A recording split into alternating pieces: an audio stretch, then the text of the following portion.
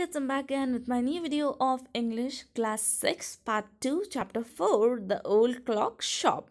Christmas Eve has arrived. At last minute, shopkeeper was going home. A thick white sheet of snow layer over Salt Lake City, USA, yet the lights were still burning in the old clock shop. As Ray, its old deaf owner, worked on a clock he had sold that day.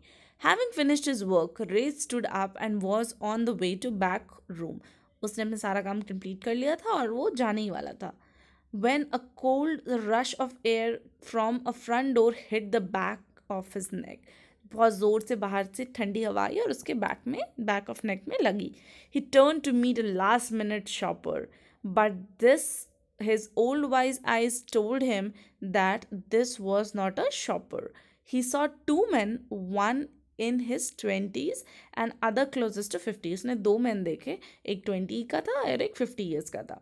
The young man remain at the door the older man approach the counter young man gate के पास रहा और older man counter के पास आया with no sign of friend friendliness in his eyes Ray was able to hide his growing fear अरे अपना fear को छुपा रहा था he slowly pushed a note pad and a pencil across the counter he smiled at unfriendly face They pointed to his ears and shook his head from side to side as a quick look of surprise changed the man's face as he studied the notepad, then turned and said something to his friend.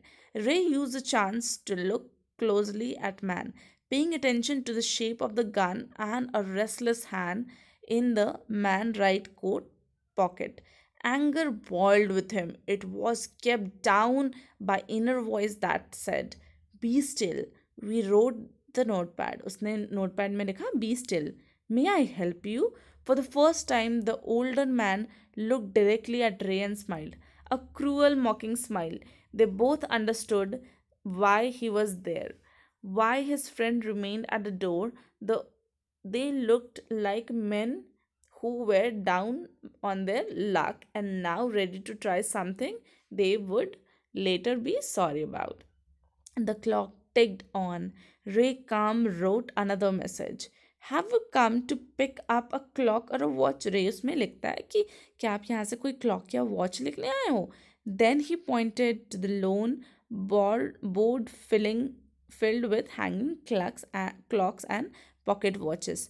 He was not a pawnbroker, but at the same time couldn't say no to the needy people who placed their old watches or clock before him for anything they could get. He loaned more than he should. They would be they would there when the owner wanted them back at the same price he had paid with no interest.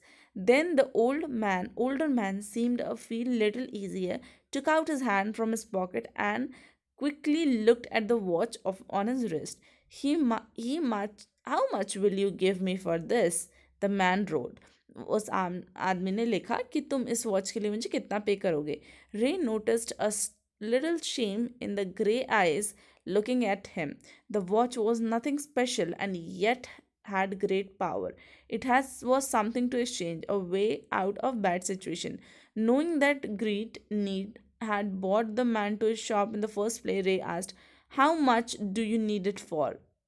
The reply came fast on the notebook. Whatever it's worth. Ray reached into his cash box, pulled a $50 note, and passed it to the man hand. Add as they shook hands. Ray looked at the man's eyes. They seemed to say, Thanks.